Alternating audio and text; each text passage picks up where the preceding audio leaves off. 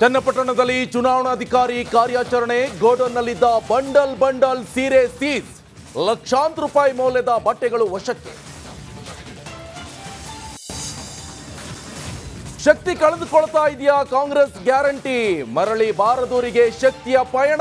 ಕೈ ವಿರುದ್ಧ ಬಿಜೆಪಿ ವಾಗ್ಬಾಣ ದಿವಾಳಿ ಆಯ್ತಾ ಸರ್ಕಾರ.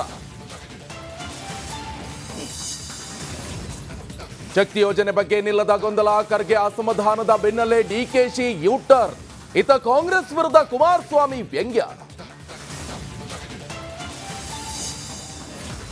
ರಾಜ್ಯದಲ್ಲಿ ವಕ್ಫ್ ಬೋರ್ಡ್ ಕಳ್ಳಾಟ. ಸರ್ಕಾರದ ನಡೆಗೆ ಕೆರಳಿದ ಅನ್ನದಾತ. ಹಾವೇರಿಯಲ್ಲಿ ಮುಸ್ಲಿಂ ನಾಯಕರ ಮನೆಗೆ ಕಲೆಸತ. ಮೂಡ ಸೈಟ್ ಪಡೆದವರಿಗೆ ಆಪತ್ತು. ಫಿಫ್ಟಿ ಫಿಫ್ಟಿ ಅನುಪಾತದ ಆಫರ್ನಿಂದಲೇ ಎದುರಾಗುತ್ತಾ ಕುತ್ತು ಶಾಸಕ ಶ್ರೀವತ್ಸ ಪತ್ರಕ್ಕೆ ಸಿದ್ದು ಅಸ್ತು. ಹಾಸನಾಂಬ ಸನ್ನಿಧಿಯಲ್ಲಿ ವಿಐಪಿ ಪಾಸ್ ಹಾವಳಿ. ದೇಗುಲದ ಆವರಣದಲ್ಲೇ ಮಾರಾಮಾರಿ. ಜಿಲ್ಲಾಡಳಿತ ವಿರುದ್ಧ ಎಚ್ ರೇವಣ್ಣ ಸಿಡಿಮಿಡಿ. ದರ್ಶನ್ ಬೇಲ್ ರದ್ದತಿಗೆ ಆಗ್ರಹಿಸಿ ಸುಪ್ರೀಂ ಮೊರೆ ಸಾಧ್ಯತೆ. ಸೋಮವಾರ ಹಿರಿಯ ಅಧಿಕಾರಿಗಳ ಸಭೆ. ನಾಳೆ ಅಪೋಲೋಗೆ ಅಡ್ಮಿಟ್ ಆಗ್ತಾರಾ ದಾಸ?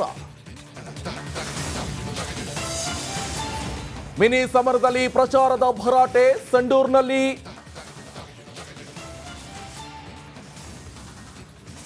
ರೆಡ್ಡಿಗೆ ತರಾಟೆ.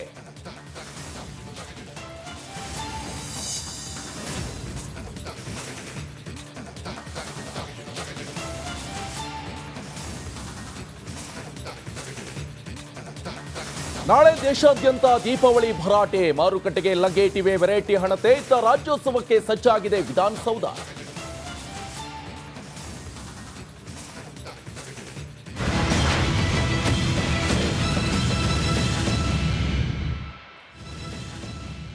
ನಮಸ್ಕಾರ, ನೀವು ನೋಡ್ತಿದ್ರ ರಿಪಬ್ಲಿಕ್ ಕನ್ನಡ ನಾನು ನಿಕೇಶ್ ಕೊಠಾರಿ. ಸಾಕಷ್ಟು ಚರ್ಚೆಗೆ ಗ್ರಾಸ ಆಗ್ತಾ ಇರುವಂತದ್ದು ವಕ್ ವಿಚಾರ. ಅದ್ರ ಬಗ್ಗೆ ನಾನು ಹೇಳ್ತಾ ಹೋಗ್ತೀನಿ. ಜೊತೆಗೆ ಇಂದಿರಾ ಗಾಂಧಿ ಆಸ್ಪತ್ರೆಯಲ್ಲಿ ವೈದ್ಯರ ನಿರ್ಲಕ್ಷ್ಯ ಆರೋಪ ಇದೆ. ಒಂದೇ ಬೆಡ್ನಲ್ಲಿ ಎರಡು ಮಕ್ಕಳಿಗೆ ಚಿಕಿತ್ಸೆಯನ್ನ ಕೊಡ್ಲಾಗ್ತಾ ಇದೆ.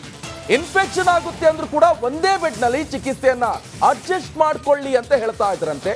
ಇದು ಸರ್ಕಾರಿ ಆಸ್ಪತ್ರೆ ಅಂತ ಸಿಬ್ಬಂದಿ ಹೇಳ್ತಾ ಇದ್ದಾರೆ ಈಗ ಆಸ್ಪತ್ರೆ ವಿರುದ್ಧ ಪೋಷಕರು ಗಂಭೀರ ಆರೋಪ ಮಾಡ್ತಾ ಇದ್ದಾರೆ ಬೆಡ್ಗಳಲ್ಲಿ ಸ್ವಚ್ಛತೆ ಇಲ್ಲ. ಜಿರಳೆ ಕಾಟಕ್ಕೆ ಪೋಷಕರು ಹರಣಾಗಿ ಹೋಗಿದ್ದಾರೆ. ನೋಡಿ ಎಂತ ದುರ್ವ್ಯವಸ್ಥೆ ಅಂತ ಹೇಳಿದ್ರೆ ಇದರಲ್ಲಿ ಗೊತ್ತಾಗ್ತಾ ಇದೆ. ಯಾವ ರೀತಿಯಾಗಿ ಹಾಸ್ಪಿಟಲ್ರಿಯಲ್ಲಿ ಆರೋಗ್ಯ ಸರಿ ಇಲ್ಲದೆ ಇರೋರು ಬರೋದು ಅಲ್ಲಿಗೆ ಏನ್ ಸರಿ ಇದ್ದವ್ರು ಬರ್ತಾರ ಅಲ್ಲಿಗೆ ಹಾಸ್ಪಿಟ್ಲಿಗೆ? ನೀವು ಒಂದೇ ಬೆಡ್ ಇಟ್ಕೊಂಡು ಇಬ್ಬಿಬ್ರನ್ನ ತಗೊಂಡೋಗಿ ಮನ್ಸ್ಕೊಂಡ್ರೆ ಅವ್ರಿಗೆ ಇನ್ಫೆಕ್ಷನ್